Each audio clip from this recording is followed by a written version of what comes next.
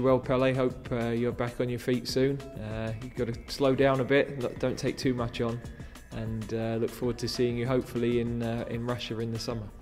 We all over here, uh, Pele, hope that you will get better very, very quickly, and uh, be able to come back across here sometime again. And uh, we'd love to see you again over here. We, we, we've just enjoyed so much of what you've done for us, and we all hope you get better as soon as possible. It was the World Cup 1958, Sweden, and uh, we played uh, in the quarterfinals. We got to the quarterfinals, and tremendously well, and uh, uh, we played uh, drawn against Brazil in the, in the quarterfinals, and uh, of course there were lots of uh, there was so much about Brazil, and they were the team to see, and they had people like Didi and Vava and Garrincha. Nobody said anything about Pele, and of course, um, hey, he, he took us completely by surprise. 17 years of age, I think he was playing his second game, I think, for for Brazil, and uh, he's picked this ball up, and he's just gone past three players and smashed it. And Jack Kelsey Gogo made a save, and we thought, who the hell is this kid? Where does he come from? On, on behalf of Pele, so Gordon, here, will you please accept this now? Yeah, the one person we knew wouldn't drop it. I'll try not to. oh, good evening, ladies and gentlemen. Uh, well, first of all, let me just say, you know, I'm very, I'm very happy that I've been invited along here tonight.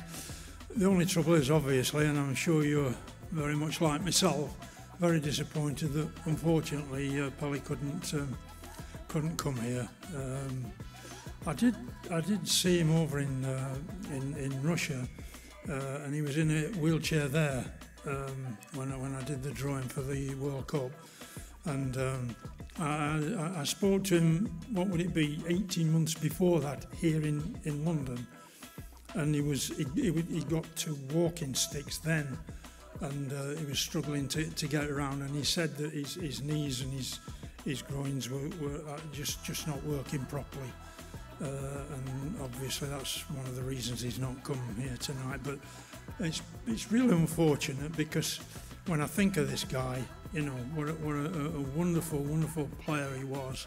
Uh, and he was the greatest player I've ever played against, without any question.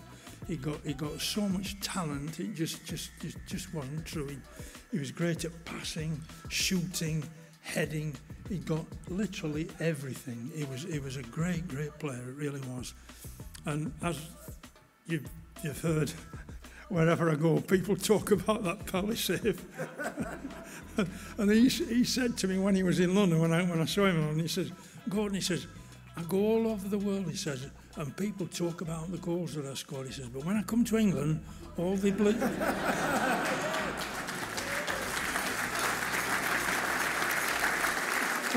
but the clincher was when Joe turned around and said, oh, by the way, your teammate will be Pele. The Pele? Not his brother, Pele, Pele, yeah. Your teammate will be Pele. I said, where do I sign? We didn't even talk about money. I just signed the contract. I just wanted to play with the guy who I realised and always knew was the best player in the world. But one I'd particularly like to read out because it's from Gilberto Silva, who was um, probably one of the most successful Brazilian players ever to play here um, in this country. Uh, and uh, a wonderful, wonderful servant to Arsenal. And may, if I can just read out the message he sent.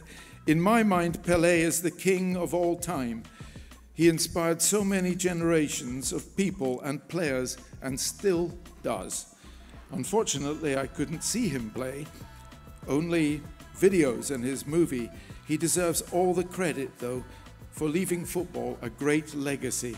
As a Brazilian, I'm so happy for his achievements, and I'm sure his influence inspired most of us Brazilian players over so many years. Thank you, King Pele, for everything. But Edson Arantes do Nascimento, the mighty Pelé, will be cherished for more graceful, less inflammatory spectacles.